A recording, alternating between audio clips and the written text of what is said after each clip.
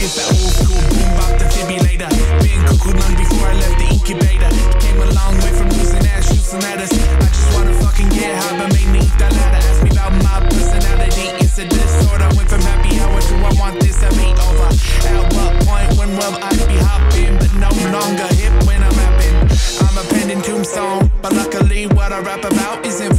Fuck writers, rock, this is ad hoc. My life is macabre, I'm so caps locked. Out the dome like Call of Duty. We are the remnants of the sound age theory.